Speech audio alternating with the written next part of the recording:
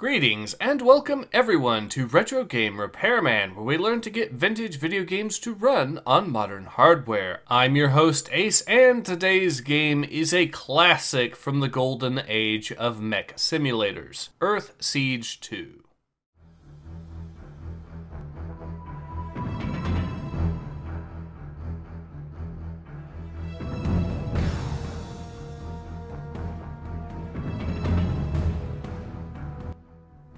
First released all the way back in 1996 as part of what would later become the Tribes universe, Earthsiege 2 is a solid mech sim with some air simulation thrown in as well, and along with other games from the Tribes universe has been made into freeware, so there's no reason not to try it out. Well, except for the fact that it doesn't really run right out of the box on modern hardware. But of course, we are here to fix that. Once again, I must mention that this fix is being tested on a Windows 10 64-bit with 48GB of DDR4 RAM, an i7-6700K processor, and a GTX 980 Ti.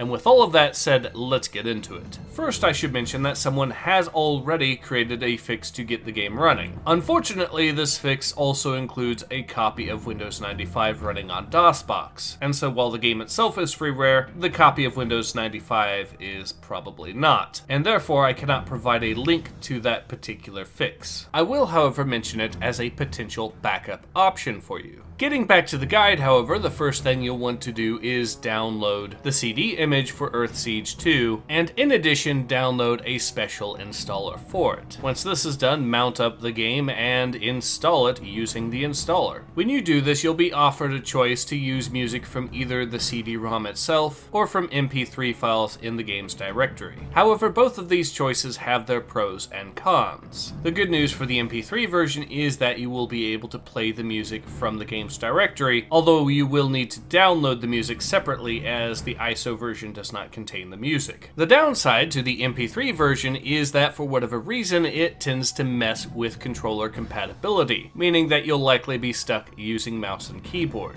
If you use the CD version, the good news is that you should have controller compatibility. The bad news is that you'll need a physical copy of the game in order to play music from it. Next up, you'll want to download Narzoul's D-Draw compatibility fix and extract that fix into the game's directory. Next up, you'll want to go into the game's directory, right-click on the three highlighted files shown here, and select Properties for all of them, and then go into the compatibility tabs for these various files and configure them as shown here. Finally, as an option, you may want to consider downloading the music files. Fortunately, I have created a zip file specifically to make this process easier. And if you decided to install the CD version of the game, you can still use an MP3 player to play the music in the background. Congratulations, if you have done everything correctly, then your copy of Earthsiege 2 will be playable. And again, it is, in my opinion, a game most certainly worth trying out, especially given that it is freeware. With all of that said, I hope that you have found this guide to be of use, and I hope to be back again with another guide soon. But in any case, this has been Ace. Hope to see you guys again soon.